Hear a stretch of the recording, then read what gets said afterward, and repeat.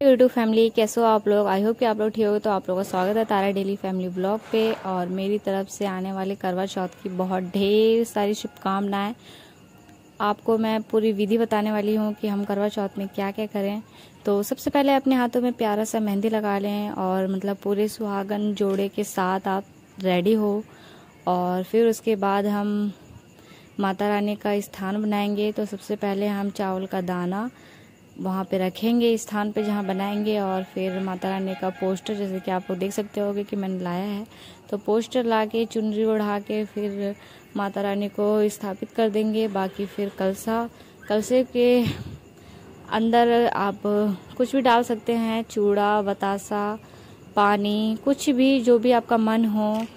धान, गेहूँ, चावल कुछ भी रख सकते हैं। तो जैसे कि मैंने रख लिया है और कलावा बाँध लिया है। कलावा बहुत ज़रूरी होता है कलसे में बांधना। फिर उसके ऊपर मैंने डाल दिया है ये, जो कि बहुत ज़रूरी होता है करवा चौथ के लिए, जो कि हर सुहागन करती हैं। फिर कलसे को आप तिलक देंगे, जैसे कि आप लोग देख रहे हो कि मैंने लगा रही हूँ तिलक। तो कलसे को हम तिलक लगा लेंगे, ताकि ये शुभ माना जाता है, आप लोग को भी पता होगा।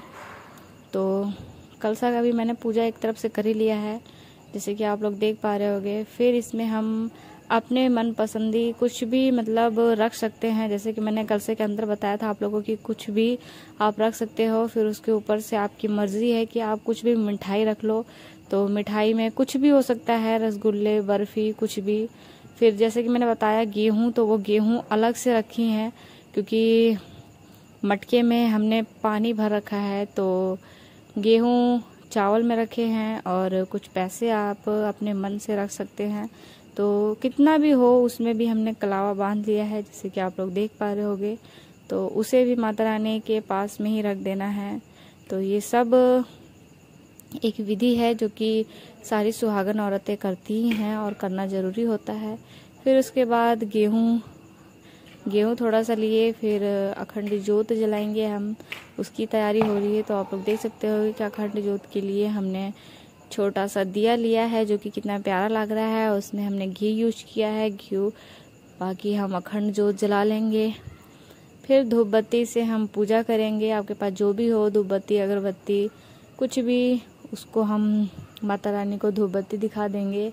उसके बाद हम साइड में रख देंगे। फिर उसके बाद हम छिड़काव करेंगे, जो कि शुद्धि के लिए किया जाता है तो छिड़काव बहुत ज़रूरी है ताकि अगर आपसे कोई भी गलती हो तो वो भी भगवान माफ़ करे। फिर उसके बाद हम हाथ में फूल लेंगे, चावल लेंगे। फिर उसके बाद हम विनती करेंगे माता रानी से कि, हे माता रानी, आपका व्रत में उठाई हूँ, मेरे से कोई गलती होगी तो मुझे माफ़ करना। तो जैसे कि आप लोग देख सकते हो कि मैंने फिर वो माता रानी के चरणों में ही रख दिया है। तो फिर उसके बाद हम आगे का काम करेंगे जो कि हमें करवा चौथ का कथा खुद मन में पढ़ना है, जो कि बहुत शुद्ध माना जाता है।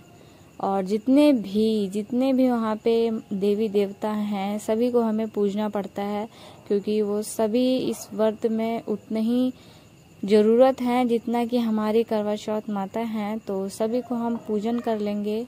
पूजन करके, कलावा चढ़ा के मतलब जो भी आपके मन में जैसा आ रहा है कुछ भी आप कर सकते हो, बस ये है कि माता रानी से लास्ट में क्षमा ज़रूर मांग लेना, क्योंकि हर किसी से छोटी मोटी गलती तो होती रहती है यार।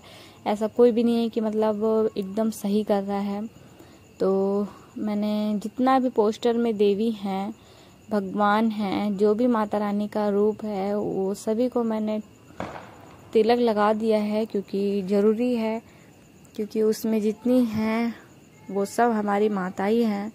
तो मैंने सभी को टीका लगा लिया है तो आप लोग देख पा रहे होंगे वीडियो में अच्छे से।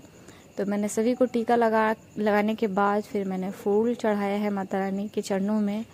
फिर, जैसे कि एक तरफ़ से आप लोग बोल सकते हैं कि सजाने के लिए आप लोग का जैसा मन होगा, मेरे पास थोड़ा सा सामान मतलब था तो मैंने उसी से अपना पूरा किया है। तो आप लोग देख सकते हो कि मैंने थोड़े से सामान में कितना कुछ कर लिया है। करने का तो इंसान बहुत करता है।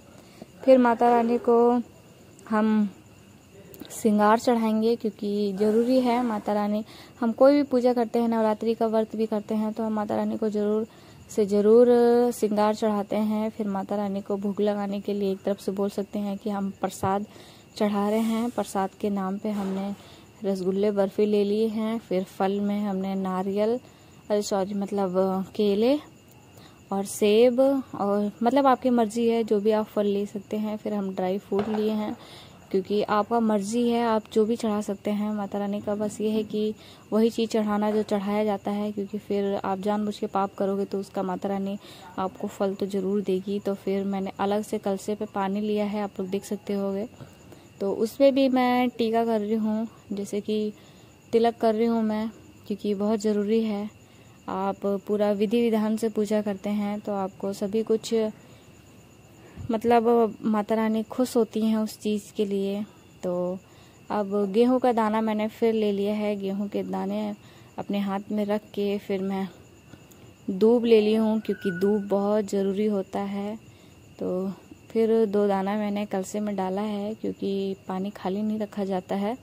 तो उसके बाद आप लोग देख ही सकते होगे, फिर मैंने अपनी सासू माँ को, आप, आपकी सासू माँ है या फिर ननद है, उसके लिए आप साड़ी और कुछ श्रृंगार के सामान ले सकते हैं। जैसे कि मैंने साड़ी लिया है और मेकअप का थोड़ा सा सामान और चूड़ी, उसको आप साइड में रख दीजिए। अगर आपकी सास है तो आप सास को दीजिएगा, अगर ननद है तो ननद को। बाकी हमने देख सकते हो पूरी तैयारी कर ली है, पूरा पूजा भी कर लिया हमने। तो आपको ये वीडियो कैसा लगा, प्लीज़ आप लोग कमेंट में बताना। हर किसी के यहाँ अलग अलग होता है। हमारे यहाँ पे जैसा हुआ, मैंने आपको दिखाया। आप लोग कैसा करते हो, वो ज़रूर दिखाना। बाकी रियल वीडियो मैं आने वाले करवा चौथ में ही अपलोड करूँगी। बाकी ये तो मैंने ऐसी विधि के लिए आप लोगों को बता दिया है कि मतलब कितनी सारी नई लेडीज़ होती हैं जिनको कुछ पता नहीं होता है, उसके लिए मैंने ये वीडियो बनाया है। तो आप लोगों को कैसा लगा वीडियो ज़रूर कमेंट बताना। धन्यवाद।